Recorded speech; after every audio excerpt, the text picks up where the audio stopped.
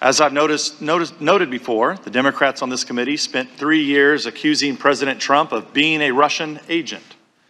In March 2018, after a year-long investigation, Intelligence Committee Republicans issued a 240-page report describing in detail how the Russians meddled in the 2016 elections and making specific recommendations to improve our election security denouncing the report as a whitewash and accusing Republicans of subverting the investigation, the Democrats issued their own report, focusing on their now debunked conspiracy theory that the Trump campaign colluded with Russia to hack the elections.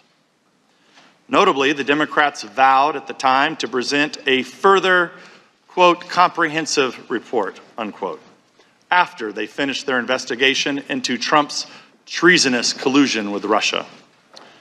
For some completely inexplicable reason, after the implosion of their Russia hoax, the Democrats failed to issue that comprehensive report.